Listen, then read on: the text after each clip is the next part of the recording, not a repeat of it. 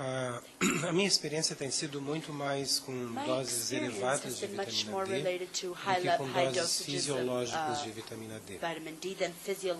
doses. respondendo So, especificamente em relação à questão da esclerose múltipla. Nós começamos a dar we 10 began mil unidades por dia de 10,000 vitamina D ah, por volta de 2002 a pessoas portadoras de 2002 esclerose múltipla. Devido aos dados de literatura que já haviam, ah, eh, já haviam sido disponibilizados, demonstrando que a vitamina D é um potente imunomodulador. Ela é reguladora do sistema imunológico. Ela não deprime o sistema imunológico. Ela estimula o sistema imunológico, tornando-o mais eficiente no tratamento, no, no- combate a infecções, mas inibe ah, reações imunológicas ah, incorretas do ponto de vista fisiológico, tecnicamente chamadas de TH17.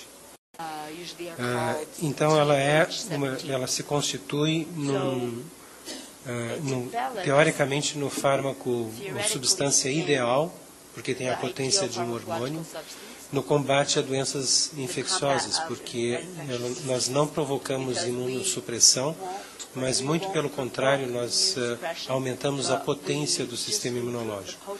Nós começamos com 10 mil unidades de vitamina D, verificamos as melhoras que os pacientes tiveram. Não, eles não, com 10 mil unidades, a doença não entrou em remissão. Os surtos se, se tornaram muito menos frequentes, mas a doença ainda permanecia em atividade. E toda vez que esses pacientes eram submetidos ou se submetiam a algum estresse emocional, ainda havia o risco de eh, esse estresse emocional desencadear um novo surto de esclerose múltipla. À medida que os anos foram passando, nós fomos acompanhando do- eh, esses pacientes com doses maiores e verificamos que, à medida que nós aumentávamos as doses, os pacientes obtinham melhor e melhor efeito. Nos últimos dois a três anos, aproximadamente, nós atingimos a dose que julgamos ideal ah, para, para o combate dessa, a supressão da atividade dessas doenças autoimunitárias, que gira em torno de mil unidades por quilo de peso por dia. Essa dose, se aplicada, isso para a média das pessoas. Essa dose, na realidade, é individualizada, pode ser menos e pode ser mais, dependendo do paciente. Nós acertamos a dose de acordo com o nível de paratormônio. À medida que a vitamina D é elevada, o, o paratormônio se reduz. Ah, e nós procuramos deixar o paratormônio no nível inferior do normal e percebemos que ao deixarmos no nível inferior do normal, sem suprimir o paratormônio, nós conseguíamos ah, manter a doença em remissão. né? Insisto que para se atingir esse, esse nível inferior do normal, era necessário atingir, em média, a dose de mil unidades por quilo de peso por dia. E para evitar efeitos colaterais, que certamente ocorrem com essas doses, ah, se não são tomadas efeito, se não são, não são tomadas precauções, nós ah, ah, retiramos ah, ah, alimentos da dieta que são ricos em cálcio. Basicamente, o, o leite e os seus derivados e os alimentos que são artificialmente enriquecidos com cálcio, como leite de aveia, de arroz ou de soja. Tomada essa precaução, essa dose se mostra bastante segura, desde que também acompanhada por uma hidratação abundante. Ou seja, nós pedimos para os pacientes que ingiram uma quantidade total de líquidos ah, que tem que ser mínima de eh, 2,2 litros e meio por dia, contando todos os líquidos, não apenas água, mas água, suco, refrigerante, chás, sopas, todos somados têm que dar a quantidade mínima de 2 litros e meio por dia, porque com isso se consegue uma diurese aproximada de 2 litros ah, e através dessa diurese de 2 litros se mantém o cálcio que é eliminado na urina diluído. Diluído, ou seja, evitando-se que o cálcio seja concentrado excessivamente, a gente está prevenindo a pior, a, a mais ah, ah, temida das manifestações de intoxicação ah, por vitamina D, que é a nefrocalcinose. Mas os níveis foram aumentando ao de, no decorrer dos anos. Né? Houve um determinado momento em que nós não fazíamos dieta nenhuma e nós observamos que os níveis de cálcio na urina chegaram no limite superior do normal. Então, nós mantivemos esse nível uh, de vitamina D e pedimos para o paciente retirar os laticínios e os alimentos artificialmente enriquecidos com cálcio. E com essa medida, nós observamos que o nível de cálcio na urina caía a um nível inferior ao que o paciente apresentava antes do início do tratamento com a vitamina D. Então, com base nisso, nós conseguimos aumentar a dose de vitamina D para esses níveis que, como eu disse, em média são de mil unidades por quilo de peso por dia mas que em pessoas uh, de, de, por exemplo, obesas, por pessoas portadoras de obesidade, isso pode até ultrapassar essa, essa quantidade. Uma pessoa de, por exemplo, 130 quilos, uh, não, não é uh, absurdo que nós cheguemos à dose de 200 mil unidades por quilo de peso por dia. Né? De tal forma que a gente consegue compensar a absorção uh, do, da, da, gordura do subcutâneo, que a gordura do subcutâneo, como disse o professor Hollick, retira a vitamina D da circulação e você tem que dar uma quantidade extra para conseguir suplantar essa, esse roubo da, do tecido celular subcutâneo em relação à vitamina D uh, biodisponível no organismo. Mas essas doses têm que ser praticadas sob rígido controle ambulatorial, uh, laboratorial, e os pacientes têm que ser vistos periodicamente para verificar se eles de fato estão seguindo a dieta. Né? porque isso é de extrema importância. Doses maiores do que essas que a gente está praticando podem fazer com que a vitamina D tenha o efeito inverso à sua ação normal eh, biológica. Exemplo, uma pessoa de 70 quilos que tome doses superiores a 150 mil unidades por quilo de peso por dia, a vitamina D, em qualquer das suas formas circulantes, ela pode contribuir para a remoção de cálcio do osso, provocando hipercalcemia através deste mecanismo. Tá? E aí eh, isso é, pode ser bloqueado através da administração de drogas tais como os bifosfonatos, como alendronato, risendronato e outros. É efetivamente bloqueada esse efeito tóxico. Uh, mas raramente nós atingimos essas doses, apenas em pessoas que têm realmente um peso muito, mas muito acima do normal, uma massa corpórea fora do comum.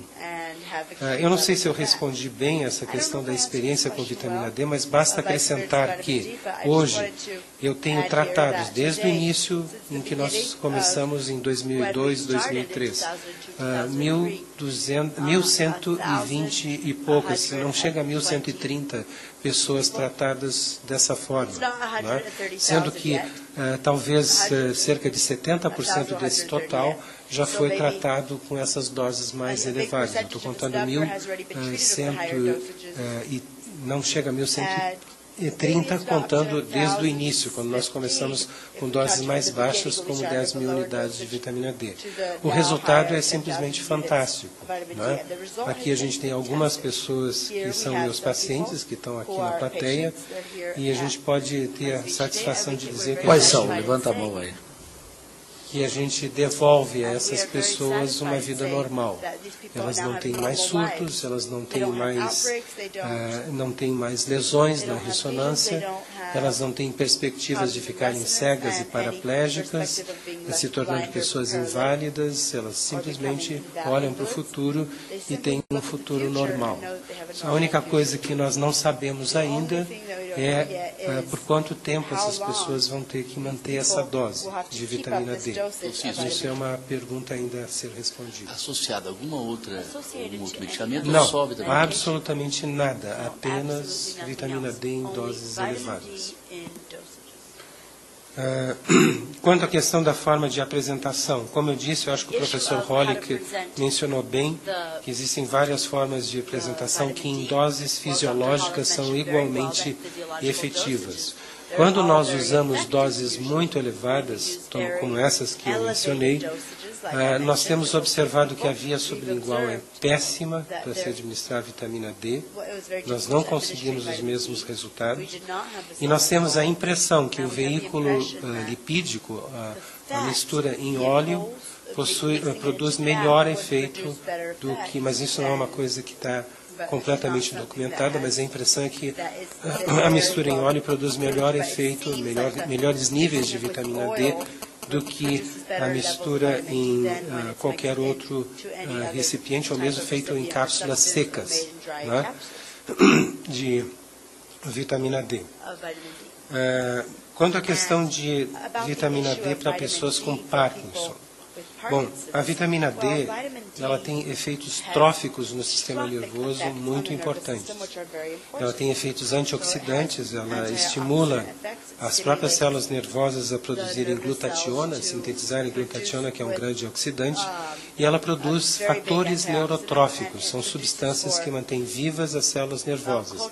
Essas células, esses fatores neurotróficos ou neurotrofinas são produzidas por células da glia, como os astrócitos, sob o estímulo da vitamina D. A vitamina D é captada uh, da circulação e transformada na sua forma ativa, dentro já uh, na parte interna da barreira hematoencefálica, no, no, próprio sistema nervoso, e vai agir sobre todas as células do sistema nervoso.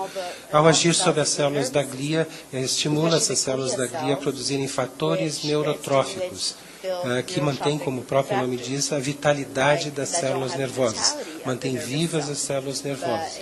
Então, para qualquer tipo de doença neurodegenerativa, é altamente aconselhável que níveis uh, normais de vitamina D sejam administrados e, e eu acho inútil para esses pacientes administrar uma dose inferior a 10 mil unidades. Normalmente, eh, isso para nós depende do peso do paciente, depende muito do peso do paciente, mas, eh, mas para pessoas de 50 a 55 quilos a gente dá 10 mil unidades, mas a gente chega para esses pacientes apenas a normalizar, uh, de, de, retirar o paratormônio do nível acima do normal, deixando ele próximo do valor inferior do normal. E isso pode variar de, desde 10 mil unidades até 25 mil unidades para pacientes por dia para pacientes com doença de Parkinson. Ah, é, é, importante que a gente faça um pequeno parêntese no caso da doença de Parkinson, né, saindo um pouco fora da vitamina D.